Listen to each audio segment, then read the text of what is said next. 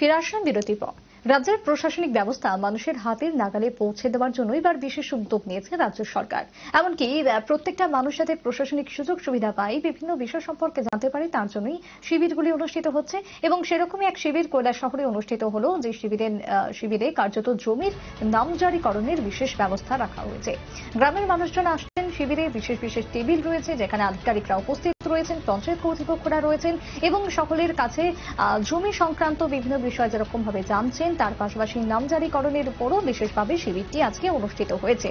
ঊনকোটি জেলার জেলা শাসক উত্তম কুমার চাকমা, তিনি উপস্থিত ছিলেন। অতিরিক্ত জেলা শাসক সত্যব্রত নাথ, কৈলাসহর মহকুমা শাসক প্রদীপ সরকার, এমনকি একাধিক বিশিষ্টরা উপস্থিত ছিলেন আজকের শিবিরে। শিবিরটি সকাল দশটা থেকে শুরু হয় এবং দিনভর চলবে এই শিবির, যেমনটা প্রশাসন সূত্রে খবর, মূলত টিলাবাজার তহসিলের অধীনে মোট আটটি গ্রাম পঞ্চায়েতের আটটি মৌজার অন্তর্গত দুশো ছেচল্লিশটি জমির নামজারি এই শিবিরের মাধ্যমে সম্পন্ন হবে।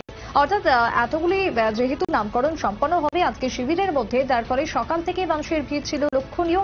এমনকি মানুষ কোথায় গিয়ে এই সমস্ত সুবিধাগুলো পাবেন, যেটা ধরে বুঝতে পারতেন না, তাই সরকার যেটা সিদ্ধান্ত নিয়েছেন যে মানুষের হাতের কাছে গিয়েই পরিষেবা এবার থেকেই দেওয়া হবে, যাতে করে সরকারি প্রকল্পেরও সুবিধা মানুষ জানতে পারেন। তার সঙ্গে প্রশাসনিক কাজটা যাতে অত্যন্ত সহজ হয়ে যায় মানুষের কাছে।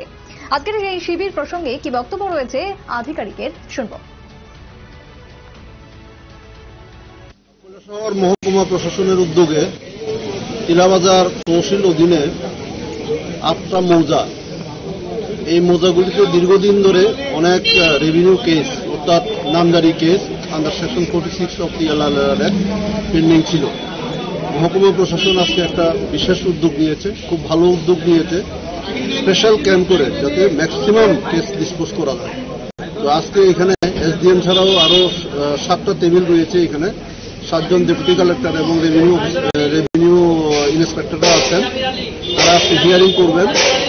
টোটাল দুইশো ছেচল্লিশটি কেস আজকে এখানে হিয়ারিং হিয়ারিং করা হবে এবং এই কেসগুলি নিষ্পত্তি করার চেষ্টা করা হবে।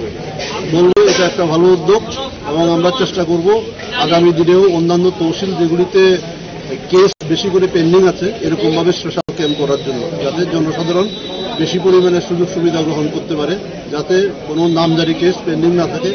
এবং আমরা বলেছি, আমরা পঁয়তাল্লিশ দিনের মধ্যে নামজারিগুলি শেষ করার আমরা চেষ্টা করি সমস্ত কেসগুলি কি স্যার তিনহাজার তহসিলের অধীনে? আজকের এগুলি সবগুলি তেলাওয়াজার তহসিল মোটামুটি কতটা গ্রাম পঞ্চায়েতের আমাদের ইনভলভ আছে?